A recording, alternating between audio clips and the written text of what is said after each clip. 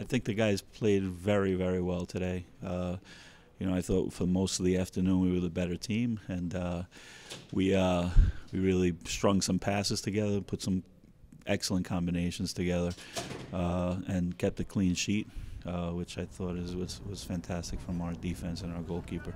It's just our guys have never stopped playing. You know, we've finished the, the league with uh, three overtime games. Unfortunately, they haven't gone in our favor.